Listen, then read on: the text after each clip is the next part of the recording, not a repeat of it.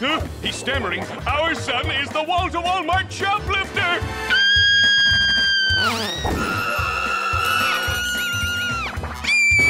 We've been robbed!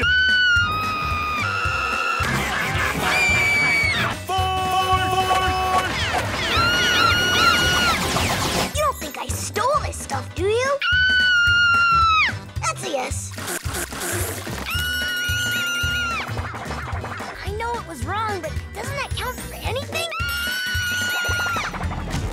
Not.